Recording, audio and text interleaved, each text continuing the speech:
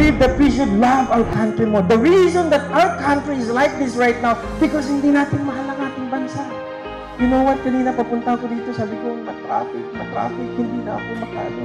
Ano mo yun? Di makalusot, naka-waste na ako. Pagdating ko dito, hindi ko masabi, I'm sorry, na-traffic ako. Why? Because every time that I say something negative about our country, sinisiraan ko ang country natin. Mahal natin ang ating bansa. We will never say bad things about our country.